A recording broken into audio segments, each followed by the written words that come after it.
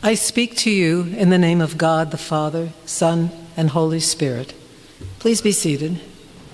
As a layperson, it's a privilege to stand before you and to try to offer a few reflections on the mystery of the Eucharist. Year after year, we gather to enter and relive the final events in the life of Christ. And they are so profound that we may never exhaust their meanings. The Last Supper, the washing of the feet, the commandment to love one another. These stories are a hearth where we'll gather for warmth and light until the end of time. Yet there's much that we don't yet understand. We're like photographers with an excellent camera lens, only one that's not quite wide enough to take in the whole picture. We may never see it all. On Maundy Thursday, we celebrate gifts that the mind can hardly grasp. For one, there's the Eucharist. Then there's the example of the servant king washing his disciples' feet.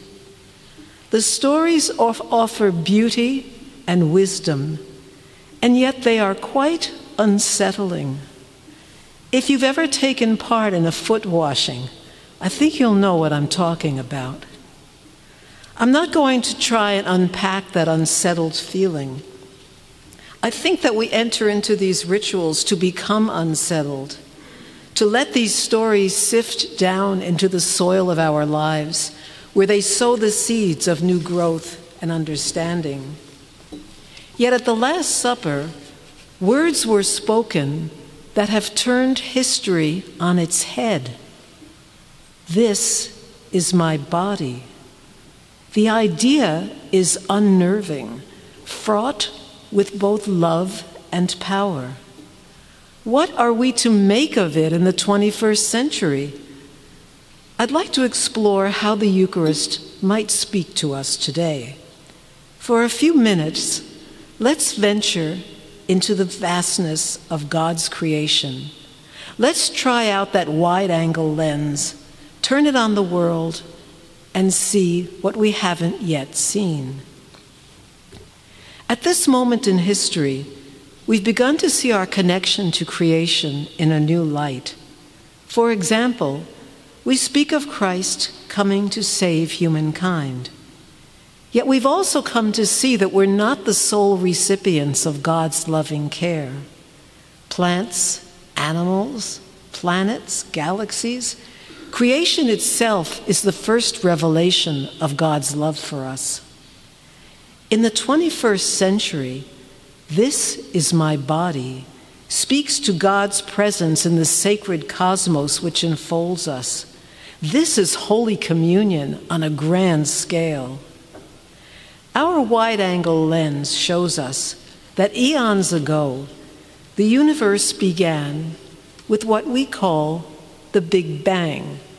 That's a kind of clunky expression. You can also call it the Great Flaring Forth. That term was coined by the late Thomas Berry, a Catholic priest and cultural historian. And along with scientist Brian Swimme, he helped shape a new story of evolution and the emergence of life. Berry didn't make scientific discoveries. Instead, he perceived their meaning through his faith in God's boundless creativity and love for all that God had made. So he points to the earliest moments of the universe when stars exploded into life, generating particles that evolved over time into planets, solar systems, galaxies, into a universe of great complexity and beauty that continues to evolve today.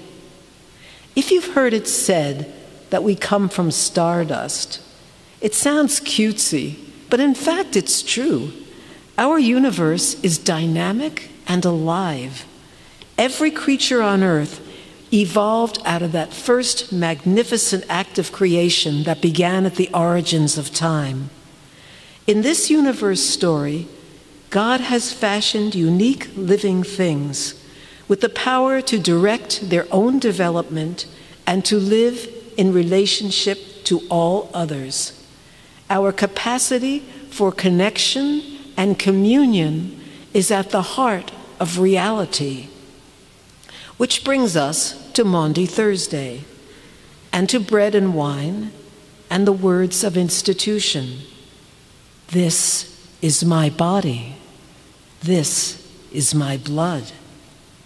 Everyone who has ever lived or who will live, including Jesus, and everything that has ever been or will be, including bread and wine, is formed of matter that evolved from that first dramatic moment of creation. With our wide angle lens, we might consider that when Jesus entered history as a material being, he gave a sacred dignity to the entire cosmos. His bodily presence made all creation holy. This is my body. What powerful words with so many levels of meaning which continue to unfold through time. The Eucharist is a cosmic sacrament, a gift which embraces not only the bread which we receive, but also our fellow human beings and the whole of creation. Perhaps creation itself is a sacrament, the outward sign of God's love for us, just as bread and wine are a sign of God's universal and never ending presence. During Holy Week, we gather to reflect upon the paschal mystery of Christ's suffering, death, and resurrection. We speak of the bread as Christ's body, broken and shared, and the wine is blood poured out for us, but also with us, because God, who took human form, shares our sufferings and that of all living creatures as they die and give birth. We don't understand the paschal mystery, but we have all touched death and resurrection in our own lives and in the life of the world. The paschal mystery is at the very heart of life.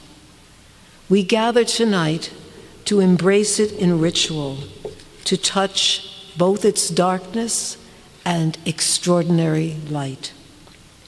We pray that Christ will bless and heal this suffering world.